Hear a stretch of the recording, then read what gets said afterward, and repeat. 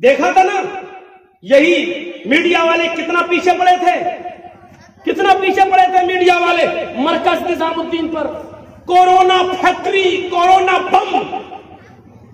इस corona factory और corona bomb में कहाँ चला गया अर्नब गोस्वामी? कहाँ चला गया जी न्यूज़? कोर्ट ने ऐसा डंडा मारा है इन मीडिया, इन चैनलों पर कि जिसका दर्द इनको इस सरकार के जाने के बाद होगा, अभी नहीं होगा। अभी तो जैसे शराब पी लेते ना, नशा है। वहाँ बड़ी बड़ी डिबेटें होती हैं चैनलों पर। हिंदू मुसलमान हिंदू मुसलमान हिंदू मुसलमान। और सुन लो बिहार वालों, ये देश न तो हिंदू हिंदू हिंदू कहने वालों से चलेगा। और न ये देश, आपका ये मुल्क मुसलमान मुसलमान मुसलमान मुसलमान। मुसलमान कहकर चलेगा ये देश हिंदू, मुसलमान, सिख और ईसाई सबको साथ में लेकर चलेगा। जो चलेगा, उससे बनेगा। उससे चलेगा। आज हमारे और हमारे भाइयों के दरमियान कोई फ़र्क नहीं रह गया है। वो टीवी पर बैठकर हिंदू हिंदू हिंदू कर रहा है। हमारे भाई टीवी पर बैठकर मुसलमान मुसलमान मुसलमान मुसलमान कर रहे हैं। और बांट के रख दिया है आज। तकसीम करके रख दिया है आज। और आज दूसरों के लिए राहें हमवार करके रख दी है। उनको पाला जा रहा है और पोसा जा रहा है। मैं नहीं जानता हूँ दिलों का हाल, अल्लाह जानता है। लेकिन माफ़ कीजिएगा, नुकसान बहुत बड़ा होगा। मैं जानता हूँ, कुछ लोगों के दिलों में चुभ रही होगी बात। कांटा। मौलाना साहब बस नाम मत ले लेना। घबराओ नहीं, नाम नहीं लेंगे। जो काम बगैर नाम से हो जाए तो नाम लेने की ज़रूरत क्या है? मेरे भाइयों, ये आपको देखना पड़ेगा, सोचना पड़ेगा।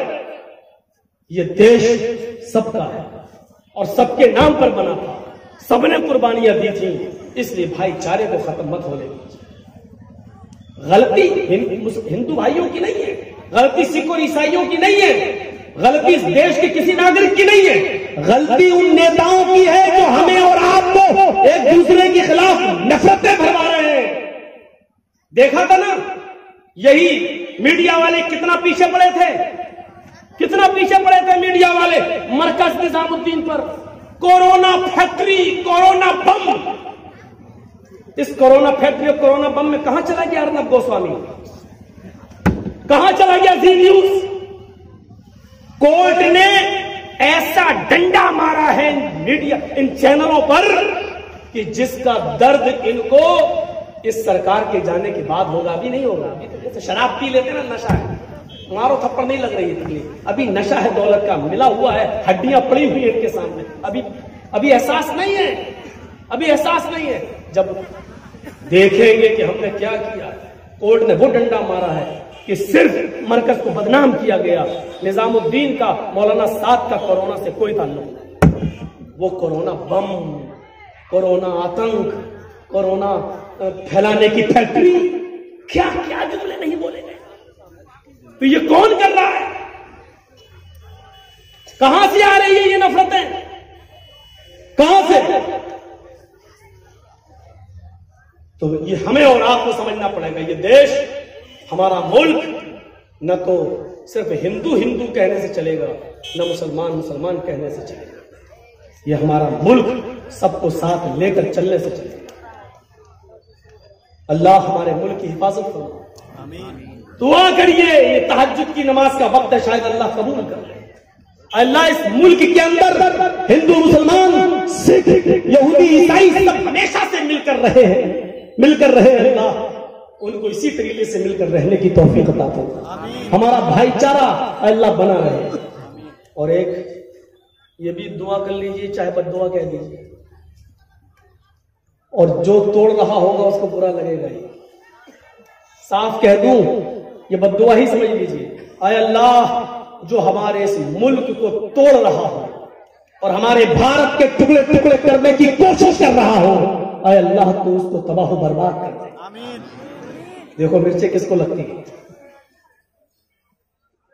हमने तो देश की एकजहती के लिए दुआ की है। अल्लाह जो हमारे मुल्क में हिंदू, मुसलमान, सिख, ईसाई के भाईचारे को खत्म कर रहा है। को तबाह बर्बाद कर अल्लाह तू उसको मिटा दे। क्या हर चीज़ दुआ में मैं तो नहीं समझता हूँ कोई हर है क्यों? भाईचारा, इस शरीयत पढ़िए। मेरा खैर, दूसरी तरफ़ हम चले जाएँगे। मेरे भाइयों वक्त, ज़रूरत नहीं है अभी उन मिसालों को देने की। पैदा करिए अपने तो जज्बाती हो ना, जज्बाती। पता चलेगा। हम्म। बंगाल के अंदर भी चुनाव होने वाले हैं। पता चलेगा। मेरे भाइयों, मैंने पचासों बार ये कहा है, बिहार की सरजमीन पर। अगर छोटा नुकसान करके, बड़ा नुकसान से अगर अपने आप को आप बचा लें तो यही बहुत बड़ी बात है। मेरे भाई का पैर कटा, चचेरे फुबेरे भाई का। डॉक्टर ने कह दिया था जर्जी साहब, लिख के दीजिए, अगर आप ले जाना चाहें तो ले जाइए। लेकिन लिख के दीजिए, अपनी मर्ज़ी से ले जा रहे हैं। अगर लेकर गए तो ज़्यादा दिन ये बचेगा नहीं। एक तरफ़ ज़िंदगी, एक तरफ़ पैर। पैर भी प्यारा, ज़िंदगी भी प्यारी। लेकिन जर्जी साहब, जिसका ना बाप हो, ना माँ हो, अकेले फैसला करना हमारे लिए कितना मुश्किल था मुंबई में। कैसे ही डिसीज़न लू? पंद्रह मिनट के अंदर डिसीज़न लेना पड़ा। फिर यही सोचा गया, बड़े नुकसान से बचने के लिए छोटा नुकसान कर दिया जाए। करिए डॉक्टर साहब ऑपरेशन। काट दीजिए पैर। आज हम हिंदुस्तान के मुसलमानों की यही हालत है। यही कैफियत है। इस चीज़ को याद रखिए। यही कैफियत है। हमारे लिए, हमारे हक में कोई नहीं है। ये सोच लो। ये फिर याद रख लो। हमारे लिए कोई भी पार्टी बेहतर नहीं है। हम यूपी में भी कह चुके हैं, ना सपा, न बसपा, न कांग्रेस। सबने हमारा मज़ाक उड़ाया। सबने हमसे हमारा, हमारे वोट का इस्तेमाल किया। मैं यहाँ पर भी कह रहा हूँ कि हमारा कोई नहीं है। आप ये सोच लीजिए, हमारा कोई नहीं है। लेकिन ये भी सोचिए कि बड़े नुकसान से बचने के लिए अगर हम छोटा नुकसान करना चाहें तो कम से कम छोटा नुकसान करके अपने आप को बड़े नुकसान से बचा लें। इस वक्त ये कंडीशन है।